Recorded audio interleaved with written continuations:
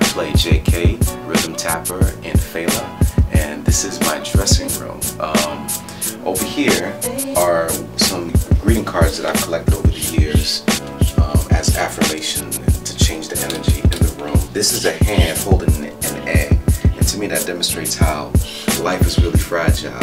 Right here, what we have are my tap shoes. These are my performance tap shoes. This design is made by T.O. Dey, and I used the model of Savion Glover's tap shoes for these, and he's somebody that I really, really admire. Over here, this is a photograph of myself with my mom, my blood mother, and my blood father at Parrot Jungle 2006. Over here is um, Dr. Reginald Yates, Guggenheim Fellow. Over here is a man by the name of David Fox, who was a former agent um, agency talent here in New York City who passed away and shared a lot about Broadway and I'm very thankful for that.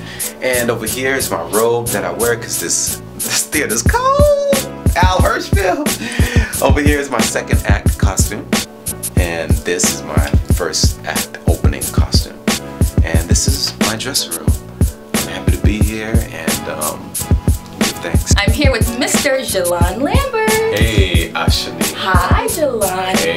Used to take Gelan's classes at Steps on Broadway many, many years ago. He teaches contemporary. He does amazing things, so many things that I really can't keep up. But right now, we're going to talk about Fela being back on Broadway. You guys just came back from a world tour. Mhm. How does it feel to be back on Broadway now? It feels amazing to get a second chance and opportunity to display our talents